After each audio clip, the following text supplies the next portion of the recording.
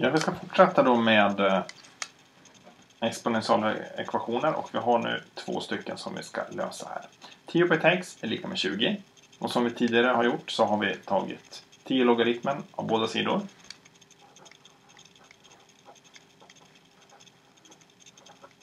På det sättet. Och vi får då flytta ut x som gånger enligt logaritmlagarna.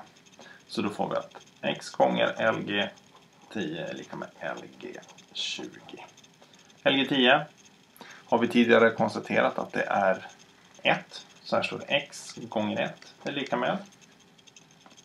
Vi tar vår räknare och slår in då LG 20, log 20 skriver vi på räknaren och sen lika med.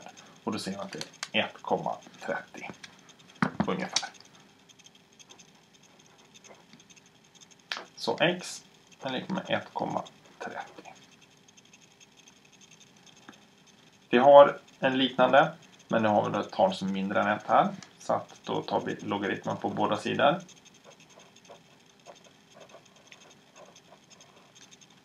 Får flytta ut exponenten.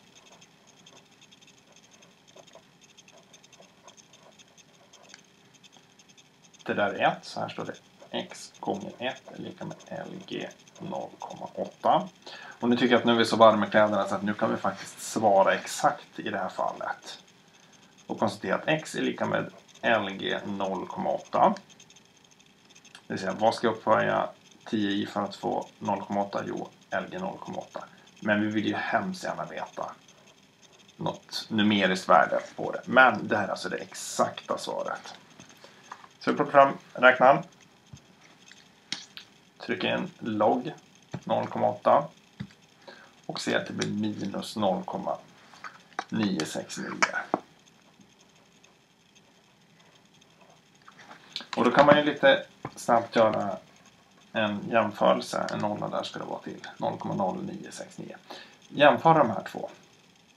Och du ser att den här är positiv eftersom talet 20 här är större än 1. Och den här är negativ eftersom 0,8 är mindre än 1.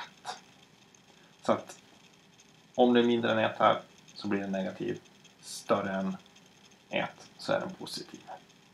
Och då har vi löst två till exponentialekvationer.